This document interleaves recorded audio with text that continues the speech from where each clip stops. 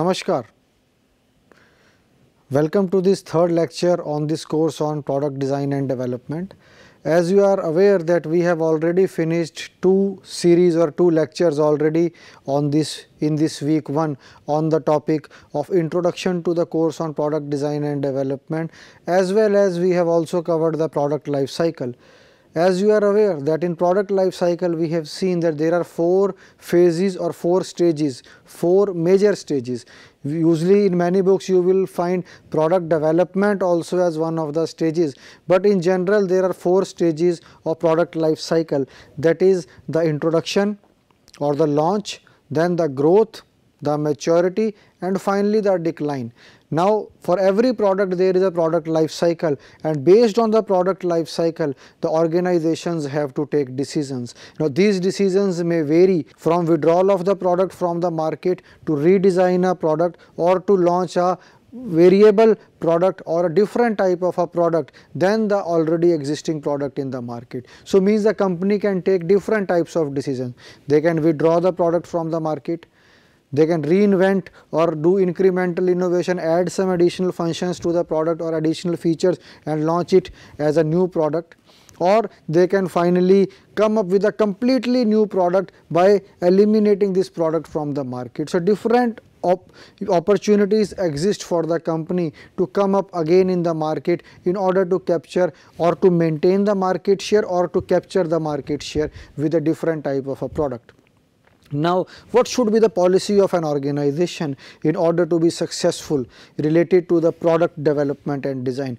Although there will be number of dimensions in which the company can focus and have strategy for being successful, but our topic is limited to product design and development. So, our focus area will be to see what company can do in context of the products it is manufacturing so that it can be successful. So, we are not going into delve more into the marketing aspects or the financial aspects, we are going to delve more into the product design aspects. So, the title of today's lecture as you can see on your screen is product policy of an organization and selection of a profitable product.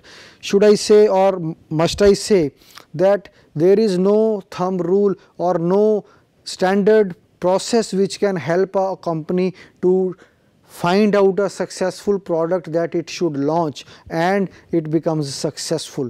It is more or less based on the estimates, forecast and the need of the people as well as the brand image of the company. So, there are so many combination of parameters which affect the success of a product, but we will see as we I have told you in the previous two sessions that our focus will be to learn more and more techniques that can help us to make systematic decisions or logical decisions. So, our focus would be to learn skills which can help us to take decisions which are more logical and scientific in nature.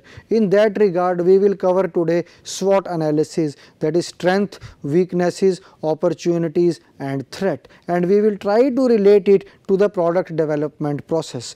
So, with that background, let us start with the presentation. We will first go through the product policy of an organization and then we will go to the selection of a profitable product. So, first part the today's presentation is divided into two major part. Part number 1 is the product policy of an organization and the part number 2 is the selection of a profitable product. Now, as per the product policy of an organization, you can see the product policy is the top management decisions. Must I tell you that there are three levels of decision making or three levels of planning in or any organization. So, let me uh, explain this with the help of a diagram. So, usually there are three levels of planning in any organization. If we take y axis, x axis and if on x axis we take time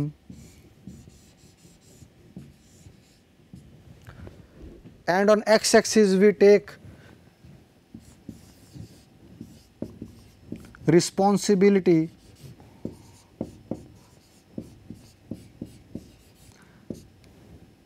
maybe we can say responsibility to take decisions then there are generally three levels of planning.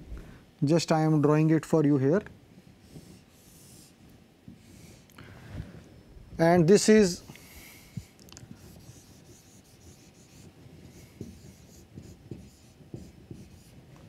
and this is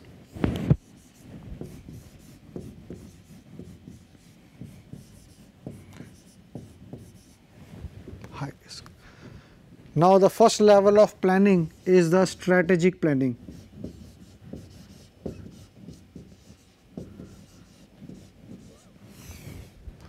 Second level of planning is the corporate planning.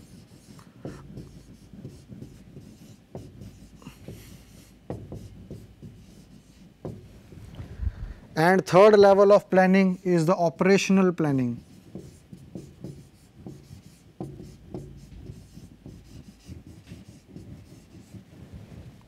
So, you can see that there are different levels of planning and the risk involved is also different. So, you can see at the strategic level planning you have high risk, at the operational level planning you have low risk. So, the time dimension also the strategic dimension is a long term decision. So, long term decision means you may be planning for the next 5 years or the next 10 years, whereas in corporate level planning you may be planning for the next 3 to 5 years and in operational level planning you will be planning for the next 1 or 2 years. So, you can see the very first point this diagram came to my mind uh, in context of the first point that product policy is the top management decision which means the product design decision that what type of product the company is going to launch will depend upon the strategic level of management or that we say as the top management decision. So, this is the top management decision the responsibility regarding that decision lies with the strat uh, strategic level of management and the risk involved is also higher because if the product fails the company will fail or will suffer huge losses which may at a later stage become difficult to compensate for. So, we can see here the point number 1 that the product policy is the top management decision. I have tried to explain with the help of this diagram. It is a strategic decision. Every organization has its own product strategies or policies. We will see in the subsequent slide that what factors govern these strategies and policies. Each company will have their own policy. We will see uh, with some examples that what are the policies of the organizations. Then these policies become the unique selling proposition of the company now USP of a particular company. Now you can see there is a brand maybe a brand of a mobile set I will not name on this public platform. As soon as they come up with a new product there are huge lines outside their stores right from the midnight of the day, day or the next day when it is to be launched. So, you can understand that people have such confidence in that brand that people line up to buy the product. So, you can see these policies become the USP. So, if the policy of that company is that the product will be very very durable, it will be reliable, it will have high quality, maintenance free, service free. So, with that USP the company has a advantage in the market the same company can opt for different policies for different products. Now, there is an automobile company in India which may probably be selling the costliest car in India and the cheapest car in India. So, they have different policies in respect of different products. So, the costliest car the policy will be different and for the cheapest car the policy will be different. So, these points just to summarize once again let us see the product policy is the top management decision Every organization has its own product strategies or policies. These policies becomes the USP of the company and the same company can opt for different policies for different products. Now, what can be the product policies? At least one or two examples I have already taken. Now, one of the policies can be that company will target the lowest price for that particular product. For example, the napkins or the tissue papers that we use, the company may make a policy that our product has to be cheapest in the market, but with a certain level of quality or performance. So, the company's focus is lowest price. Next focus can be highest quality. There can be another company where the target is that quality has to be top class. They will not bother much about the cost of the product, but they will only be focusing on the quality of the product. Then there can be a third the most of the companies will fall in category number 3 that is compromise between the cost and the quality. So, very few companies will fall have these two policies, but majority of the companies may have this policy that is compromise between the cost and the quality. And then there can be a product policy of safety. All these companies may also have safety as one of their features, but there may be companies which will have safety as their main feature and all other parameters may be given slightly less weightage as compared to safety for certain specific companies. So, we will see some examples of these policies being followed by different organizations. Now, let us take one by one. First is the lowest price. The lower cost is the main criteria used to compete in the market as I have already explained. The company may take this decision that whatever is the existing competition we will come up with a product which will have the lowest price in the market and will compete in performance with the competitors. So, that is the first point that is the main criteria that cost is the main criteria and this will become even more relevant will when we move into the next week and we will talk about value engineering and there we will see that for keeping the cost constant what else options are available or what other options are available with us in order to be competitive in the market. So, from lowest point lowest price point of view. First is the lower cost. Second is the company offers the product at a, at a cheaper price than its competitors. I have already explained this point. Then the profit is less but the company makes the substantial profit by large volume. That is example is sanitary paper carry bags. So companies manufacturing these products may focus on the lower cost. So the cost may be low cost may be low, but the number or the volume of sales is very very high. So, the even a profit made on single volume or single product will multiply by the number of products sold and then that will add to the revenue of the company. So, their target is that profit per component or per part or per product can be less, but they are going to have a huge volume or the target is to manufacture huge volume so that the volume multiplied by the minimal profit adds to a huge revenue. So, that can be the company policy of any organization. Next is the highest quality. You can see some organizations offer highest quality products irrespective of the cost. So, cost is not at all important for these companies. They focus primarily on the quality of the product. So, it is to fulfill the need of a special class of customers who value the quality as the only criteria to purchase the product. So, if I ask you maybe in an assignment we will give you this problem that you have to write maybe 5 products or the names or brands where the quality is the most important criteria and cost is maybe secondary or tertiary criteria. So, you can do this as assignment just look around you just focus your attention on the products where the quality is the paramount importance. Maybe one one industry I can uh, just share with you is the aircraft industry. In aircraft industry cost is never a paramount criteria. The most important criteria in aircraft industry is the quality of the product because the human life is involved in aircraft industry because uh, aeroplane has to take off and land and so many passengers it is carrying. So, in that case you cannot compromise on the quality of any equipment equipment or part that goes into the manufacturing of the aircraft. So, that is their example. Other example is medical equipment. Again here the human life is involved in medical equipment also. So, the quality has to be top class. Otherwise there can be a mishappening. So, two criteria we have seen. First one is the cost has to be lowest. Maybe some companies may opt for this policy. Then the other companies may go for the highest quality. Then what can be the third criteria the compromise between the two the quality and the cost. So, let us go the compromise between the cost and the quality. Some organizations offer the product with the optimum blend of quality and cost to capture the larger section of the customers. So, in both the cases you will see low cost may be large customer base, large volume of production, high quality very selected customers, very specialized customers, very specialized type of products.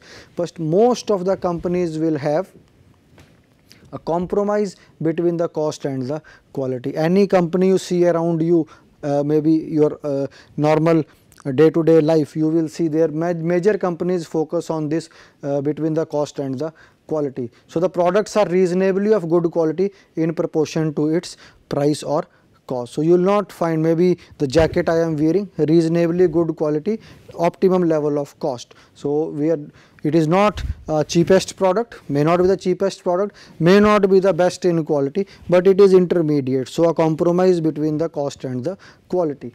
And the last part is the organizations try to give good value to the customer for his money. So, this word value we will see in the next week how to define a value, what is value engineering and how the compromise between the quality and the cost is achieved using the technique of value engineering. So, three types of policies for the companies we have seen. First one is lowest cost, second one is highest quality and third one is the compromise between the cost and the quality. The last is the safety. Safety is uh, in any case taken care by other three criteria, other three policies also, but many companies will be there which will only be focusing on quality or sorry the safety. Now, safety is the main criteria on which they compete in the market. So, the examples can be electrical gadgets, medical instruments and home appliances. So, these are the Uh, application areas where safety may be the most important criteria for designing that product or the most important USP for that product. So, other things are also important cost is important, quality is important, compromise between the cost and quality is important, but you can say that the major criteria is the safety in this particular case. Okay. So, we have seen the four important product policies by various organizations. So, just to recount what we have already discussed the four policies are the lowest cost policy, the highest quality policy and a compromise between the quality and the cost and the last fourth one is the safety. Now, let us see another dimension of the product policy. Now, product policy is not only concerned with the product, but also with the functions the product fulfills. So, from the functional point of view we see that the products can be classified according to various features some of which are important in preparing the product policies. Now, suppose we are uh, preparing or designing a product or a concept for a product which has to be lowest cost, then some of these parameters will help us to design the product accordingly. For example, durability, reusability, recyclability and the way of production. So, suppose the product is let us take an example of a product which is to be customized as per the customer requirement and it has to be features have to be incorporated in the design which are specific to a specific customer and the customer has very high hopes from the quality point of view. For example, he wants a car to be manufactured as per his requirement. So, there we can see the way of production it cannot be mass production or standardized, it has to be a craft made good. For example, craft made furniture. I have taken an example of a craft made car. So, you can get your car designed, but it cannot be manufactured by mass production. It can only be manufactured by a craft production or it can only be manufactured by customized production. Similarly, suppose there are sanitary napkins or there are tissue papers or you can say paper bags to be used. So, there they have to be produced in mass production because the criteria is lowest cost. So, when the lowest cost has to be achieved, you cannot go for craft made goods, you will go for mass production only. So, the initial four policies that we have seen lowest cost, highest quality, compromise between cost and quality and the safety will certainly depend on some of these features. Now, let us take these features uh, one by one and quickly try to understand the policies of various organizations. The first one is durability. Now, it can be a non-durable product or a durable product. Example can be hairspray. If you buy a hairspray, you would like to use it for a month or a two or, the, or a three. So, you will not like a hairspray to be usable for the next 10 years. If you buy it, it is kind of a consumer good, will be disposed of after 2 months, 3 months, may not be that durable. Whereas, automobile if you buy, it has to be very, very durable. So, that is non-durable versus durable. This is also one policy. The company has to take a decision whether they want to make a product, what would be the durability of that product. For example, if a company is manufacturing socks, to be worn by customers like us they will not like to select a fiber for that socks which is usable for the next 50 years. Then a person buys 5 pair of socks and then for the whole life he will never buy socks again. So, the durability is important criteria when the company is framing its policy regarding its product. They would definitely like to frame a policy so that socks will have a dura durable life of maybe one year or two years and after that the socks have to be replaced. So, that is uh, one uh, criteria. Second feature can be reusability. One of the it is non-renewable reusable versus reusable. Detergent is non-reusable because once you use the detergent it is gone and glass bottles are reusable. So, that is another criteria. Recyclability is third criteria, non-recyclable versus recyclable. Pesticides cannot be recycled again, but the paper can be recycled again. Similarly, way of production it can be mass produced or it can be craft produced or customized as per the requirement. So, all these criteria also you can say influences the decision making on part of the company that what type of policy they should follow and the four broad guidelines we have seen and these are the additional features that the companies usually take into account when they are designing a product or when they are deciding about the quality, the cost and the safety of their products.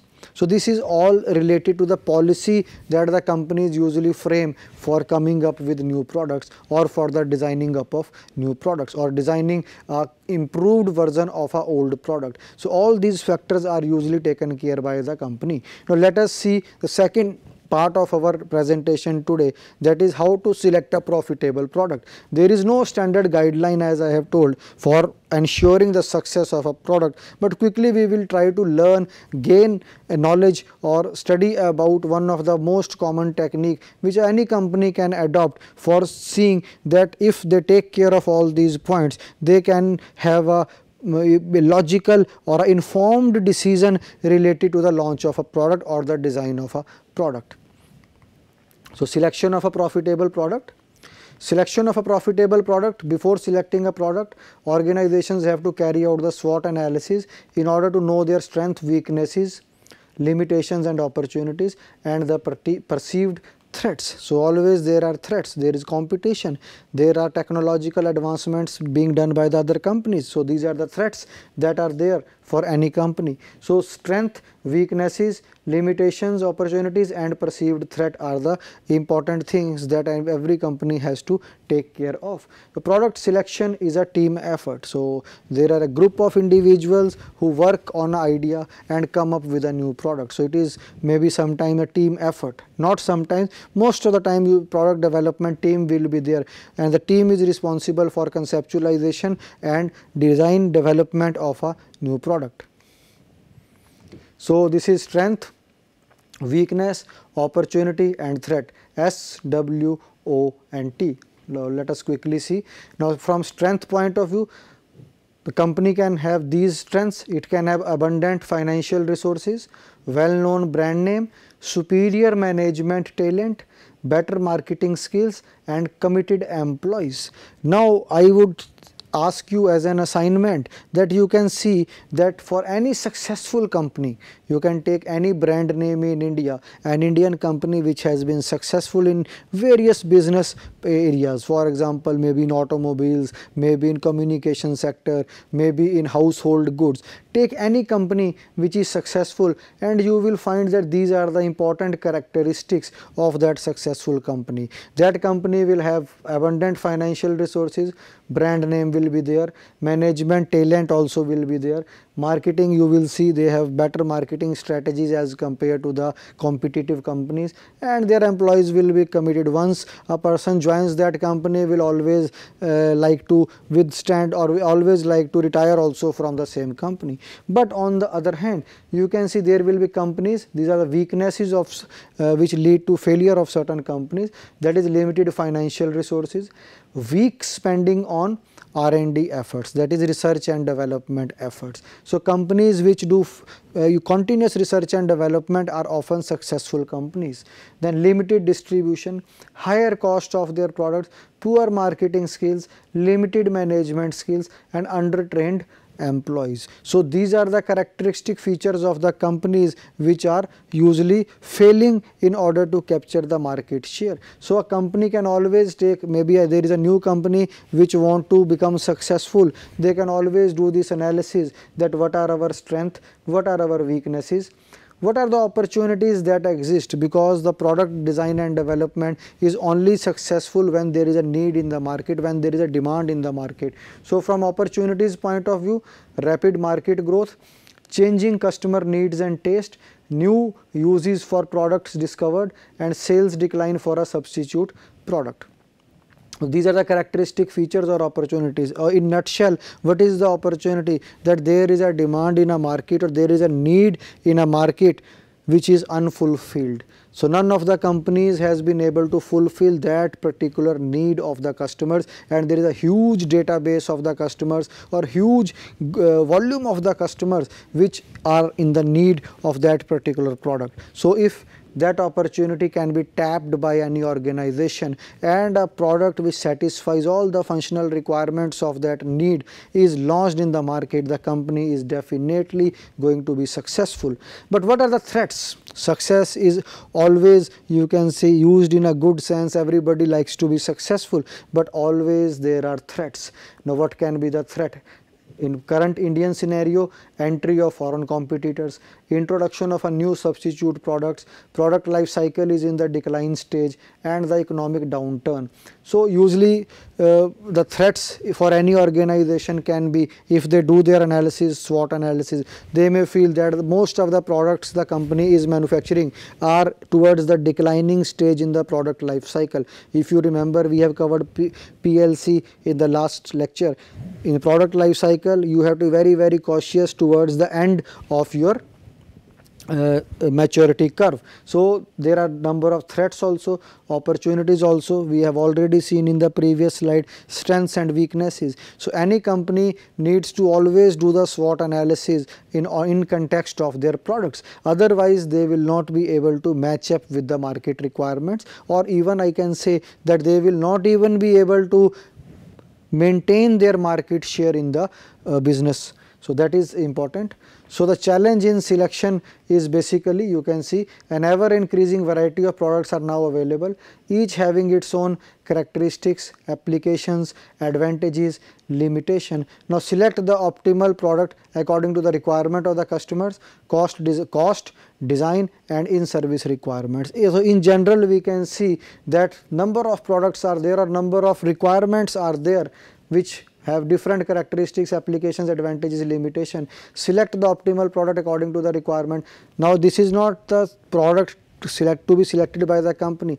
This is idea to be selected by the company that this is the area in which we are going to put our efforts in order to be successful. So, the overall target of today's lecture is to find out or to just develop a strategy to select a profitable product and first part was that what should be the company policy. So, we have shown or we have discussed that there can be different product policies by an of an company of a company sorry and there can be different methods of selecting a profitable product out of which we have only seen one that is SWOT that the company should perform a SWOT analysis of their well-being and then come up with their strengths and try to launch a profitable product product which will lead to the success of an organization. So, I stop here in the next lecture we will focus on the product development process and see the various stages of product design and after that we will cover our next lecture that is the last of this particular week that will be related to the product analysis that if you have an idea how you will make it a successful idea and what are the tools that you need to use during the various stages of the product development process in order to come up with a product which can withstand the pressures of the market. Thank you.